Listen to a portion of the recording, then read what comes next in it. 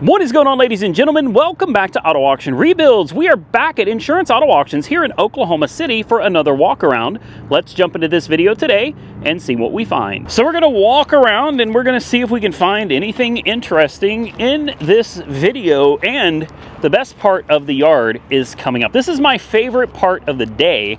When I'm on the third to fourth video, we end up getting into a lot of the donations and I thoroughly enjoy donated vehicles because you never really know what you're going to get. Now, we're not there yet. We've got to get through this last little piece of the yard here, and then we will be in the section that typically has a bunch of donations. Currently, I'm not seeing... Ah, I know. Give me a break, guys. I saw a second gen Prius over here. It might be a donation. We're close enough that it could be. I just want to look at it real quick. Not gonna take up much of your time. No, I'm gonna pass on this one. It was hit pretty hard in the front. It's been keyed. Uh, it's got quite a bit of damage down there, I think. Maybe not. It may not be that bad. I don't know. Oh, it's also hail damaged. Oh, and the fuse box is opened and somebody somebody got pissed and keyed the living heck out of this Prius. And the gas door is ripped off. Okay, so we're not looking at this one. Um, an Infiniti i30. Oh, I haven't seen one of these. It's been a long time. I haven't seen one of these in a long time. Unfortunately, it's, yeah, it's pretty bad. Now, I know that most of you clicked the video because you saw the Mustang. No, it wasn't a Mustang? Uh, maybe it was a Camaro. I, I don't know. I'm kidding. It's a Camaro SS that's sitting right over here. Well, let's just take a look at it real quick because I saw this in the distance when I was walking by earlier in a previous video and I thought, that's not a bad looking Camaro. Not at all. A little bit older, but that's fine. It's still an SS, still 6.2, maybe a manual transmission. I don't know. It's a 2010. And uh, I just realized I saw the good angle of this car when I was walking by. Um, I did not see the bad angle of this car because it's, it's, uh, yeah, that's, that's pretty bad, guys. That's pretty bad. You know, here's, here's the thing though. Here's what I'm going to say. It's even got the Brembo brakes. This is totally fixable, right? And you don't have to go through and de-skin the whole thing to fix it. I mean, I know that's the right way to do it, but I, I guarantee you there is a PDR person out there. Well, it's automatic. It's the red interior, blown bags, which is to be expected. There's somebody out there that could fix this. You know, a lot of this I think could be popped back out that's just a big dent. Somebody could pop that out for sure. You could straighten that out. Yes, you're going to need a little bit of mud and obviously a repaint. Um, the back bumper, I don't know. It's got one broken clip.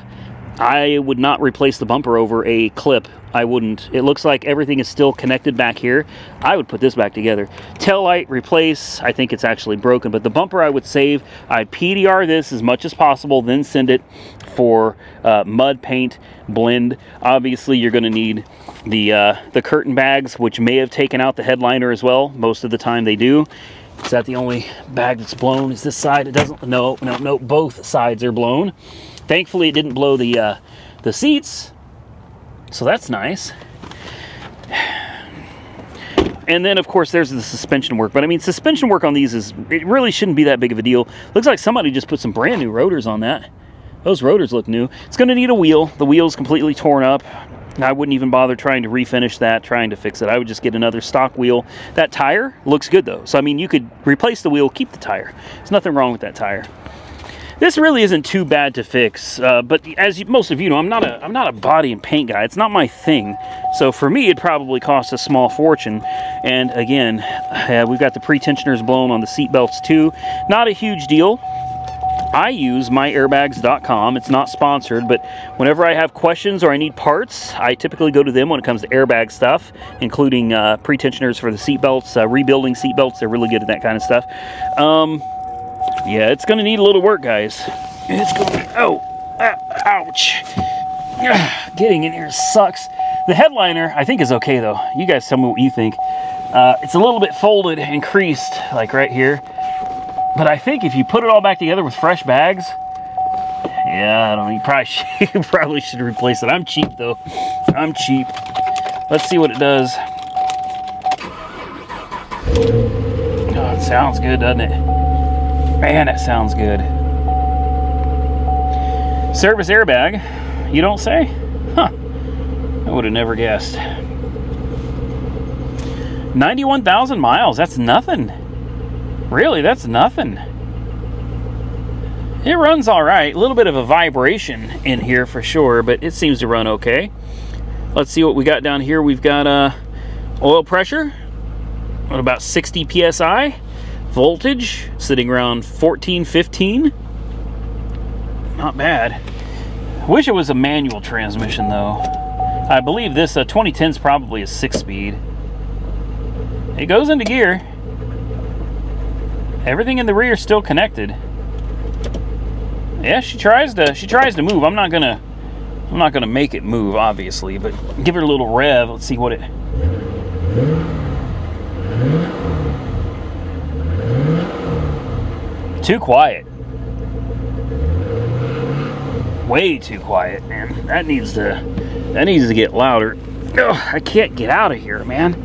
I'm like trapped in this little little car. Let's pop the hood, take a quick peek, see what she's working with. Uh-oh. Come on. There we go. Oh, wow, that's filthy. I don't think this has ever been cleaned. Like, literally ever been cleaned. Huh. Sounds good, though, doesn't it? Spider webs under the hood tells me it's been, uh, been sitting for a while. So, the fact that it fired up and it's running this good, that's pretty dang impressive, guys. This is not going to be one for me, obviously. This is not something I'm looking for right now. And it was when I first saw it because I saw it from way over there and I just saw the back end. I was like, hey, that's a sharp looking uh, Camaro SS. But uh, yeah, you get to this side and it's, mm, yeah, you ain't driving this one home, right? Still, could be a good project for somebody. This one is just not going to be for me. So let's keep going. I like that little Civic. I don't need to look at it, but I do. I'm going to go look at it. Not the wrecked one. Well, this one's probably, it is, isn't it? No? This one's not wrecked? I don't know. I like this little Civic, man. Hold on. Let me look at the other side. It's a pedal car. It's a pedal car. It's almost as good as a donation, guys. Seriously, almost as good as a donation. I'm going to set my bag down. We're going to take a quick look at this one. It's a 2012 Civic, and it looks like it's the uh, kind of base model version. It's kind of an interesting choice of rims. The fronts are completely different from the back. The back looks kind of ridiculous, crazy. XXR. Yeah, those are kind of wild. The window tint is um, leaving in a hurry. But otherwise, not too shabby. Needs, uh, well, it needs factory wheels is what it needs. Can you guys tell I'm a big fan of factory wheels? like, I, I think that factory wheels just look good on almost everything. Not everything, but almost. Ooh, wow. Oh, wow. Yeah. Factory wheels, I think, just look, they generally look good on everything, you know? That's not an absolute, though. There's many cars that have ugly looking wheels, but I just think the factory does a really good job of making wheels that suit the car nicely. I'm not sure what happened here. That's that's interesting. I how do you even do that without breaking the window? Um, I don't know. I'm I'm not sure. It's got hail damage, pretty significant hail damage. It is an automatic, and it looks really bad. Like this car, this is I'm surprised it doesn't smell worse. It doesn't smell good, but I'm surprised that it doesn't smell worse. This this is this is pretty rough. Oh man, I guarantee you it's dead. Probably been sitting for years. Let's see. The date on this is 2022, March of 22. So it's obviously sat for a little while. Um, almost two years. Obviously dead as a doornail. We already knew that. Let's pop the hood Because I have heard that nothing kills a Honda. So I'll be surprised if this has any major issues. I don't know. I have heard I've had I have heard that Hondas and transmissions sometimes have issues with one another and occasionally they're known for getting a divorce. But I don't think that's like a super common thing. 204,000 miles is what it says. The battery was replaced in 12 of 22. So that was just a year ago. Huh. Well, I heard noises. Lights have come on, so looks like it's got some juice. It probably runs like a top. We'll find out. Well, it runs. Hold on. It's getting better. It's getting better. Oh, wow. Look at the lights. Man, that looks like a BMW. Good Lord. More lights up there, too. ABS check system. Ooh. And it's running weird. Check VSA system. Okay. Check power steering. Oh, power steering works. Oh, she is not happy, guys. Oh my goodness door open. Okay, that one we can live with. We can live with the door being open. Let's see what's going on down here. Check brake system. Oh boy. Um, wow. Uh, we have a steering fault up there. We have traction control, TPMS, brake light, and, and no, the, the brake's not on. We have a red brake light. We have an ABS light. We have a flashing check engine light yeah, um, this car has got some problems, man. And then you've got this really cool, like, primary. I guess this is your primary screen up here. I like this. It's got about a quarter of a tank of gas. This is a nice screen. Almost looks kind of holographic. Very interesting. Well, it does run. Whoa, what's What's going on? What? I don't know. This it ain't good, man. It moves. Brakes seem to work. Backwards? Yeah, I mean, it goes forwards and backwards. The brakes work. The steering works. Can rev it up. It just it just ain't running well, is what it is. Um, yeah, I think we're gonna probably walk away from this one pretty quick. Important window works. Express up and down. Less important window. Nope. Does not work.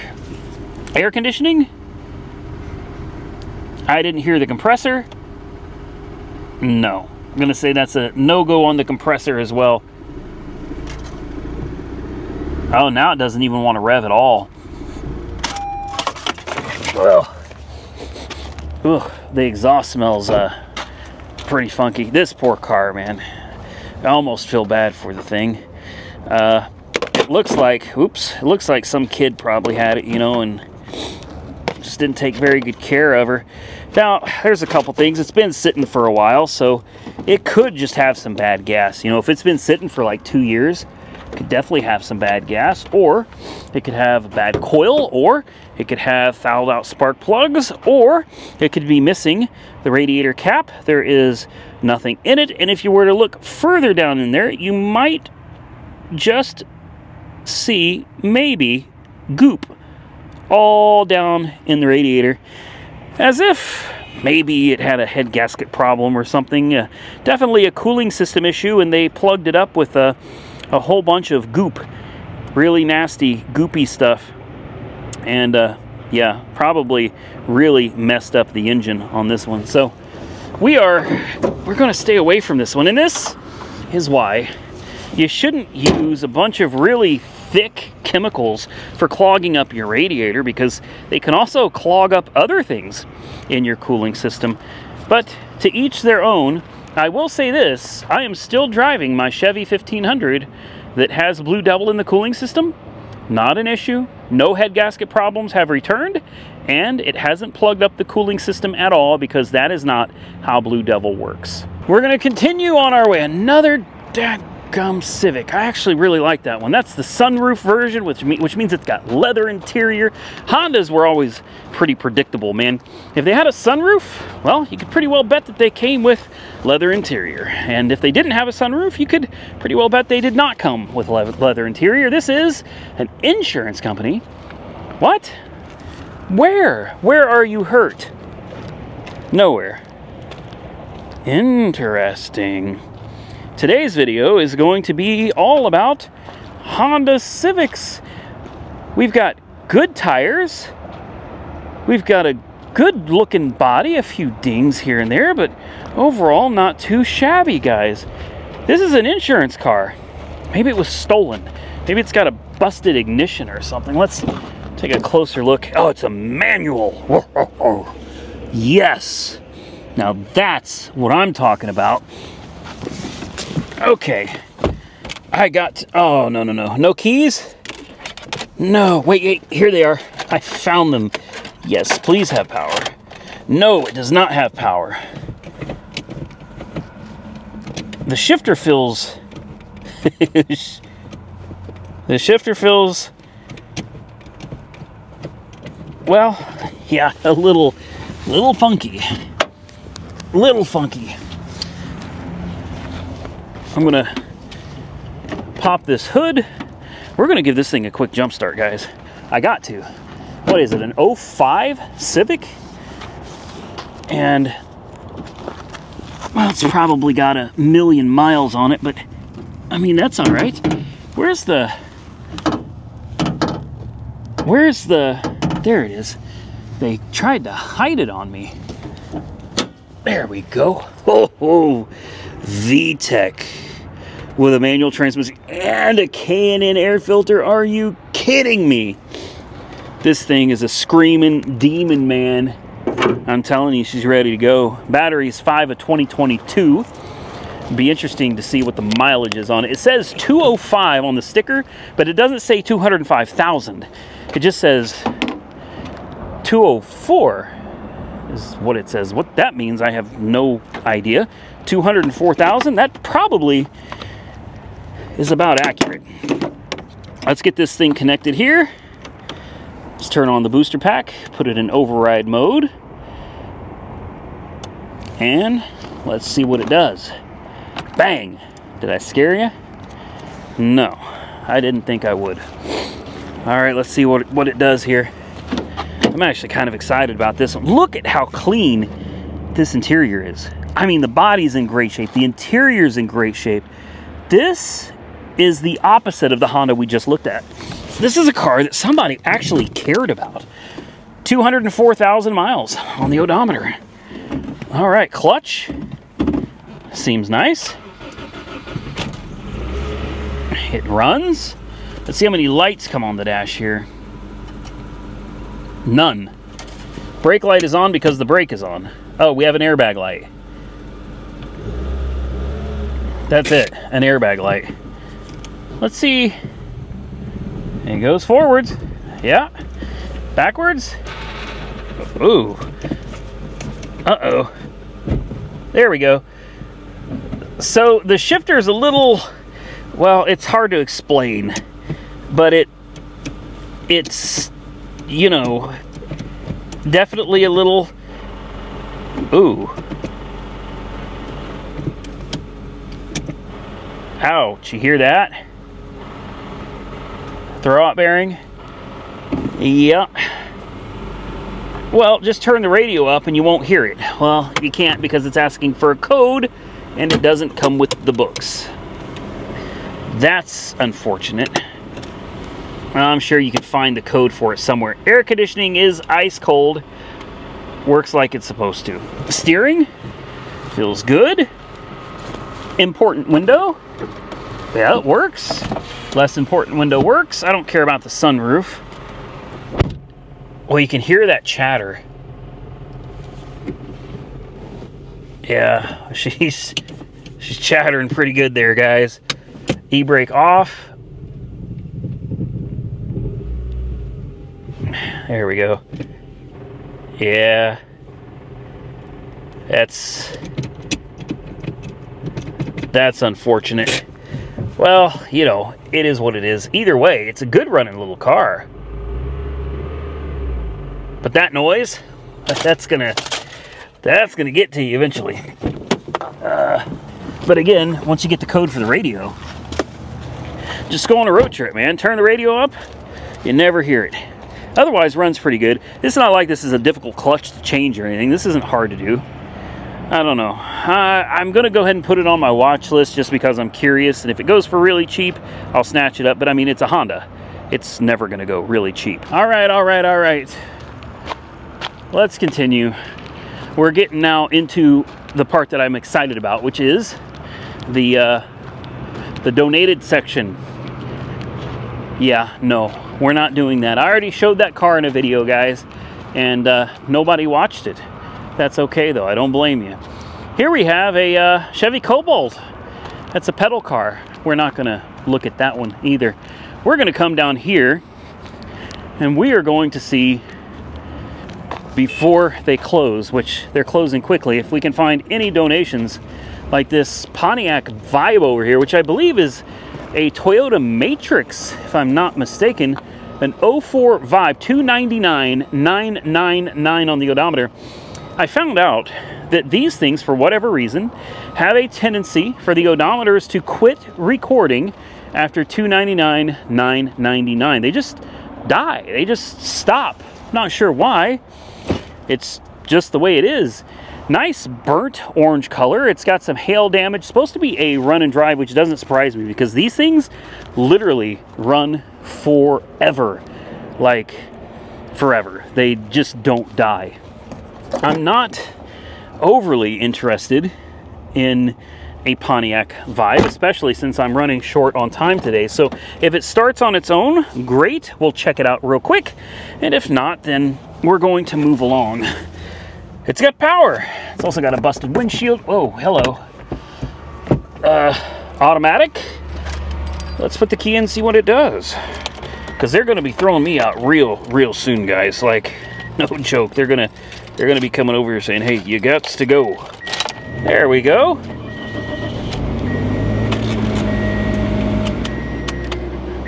Well, it runs. There's some funny noises coming from under the hood. Very funny noises.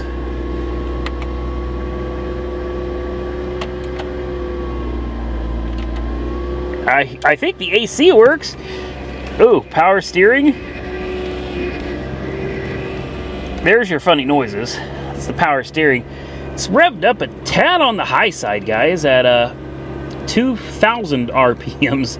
Check engine light, airbag light, half a tank of fuel. As for the air conditioning, I don't know, guys. It doesn't feel particularly cold. Um, I'm going to turn it off. You've got a nice 115 watt or 100 watt, 115 volt inverter built in. You got an old school cigarette lighter. How about that? I don't think it's ever been used. Uh, you know, yeah, I'm gonna I'm gonna pass on this one because I really wasn't out here to look at one of these. Uh, decent car, uh, lots of hail damage, but if you can get it for cheap and you can get it to idle down a little bit, yeah, that one could be a really decent little commuter car for somebody, but not what I'm out here looking for today. Let's see what else we got. Honda Civics. Come on, show me some good donated cars out here, guys. No? Uh-oh. Oh boy. Well, and here's the Corvette, man. Uh, this is in the same auction. This is the one that had the deer go through the hood, if you remember right.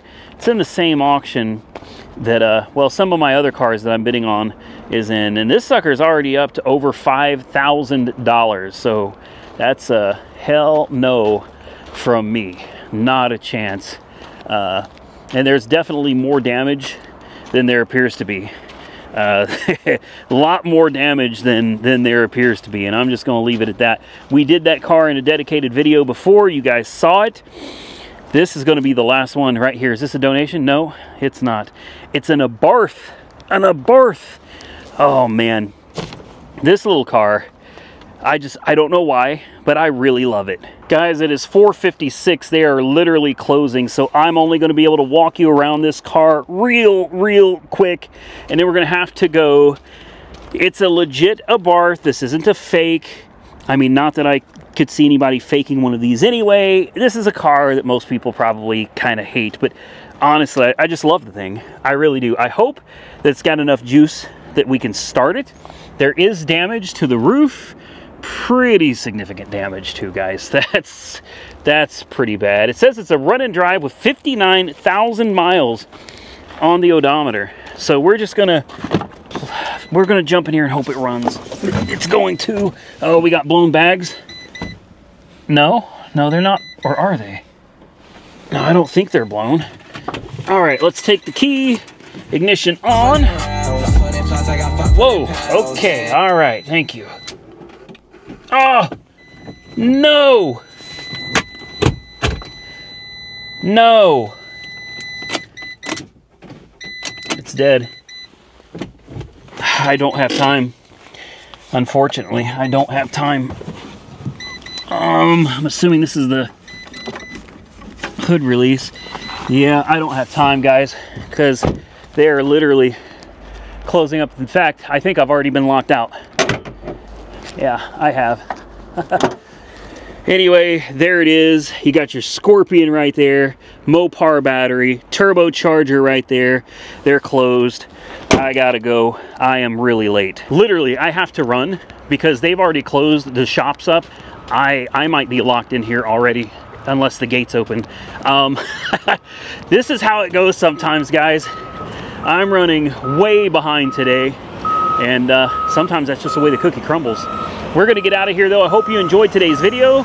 If you did, do me a favor and hit the thumbs up button. Let me know.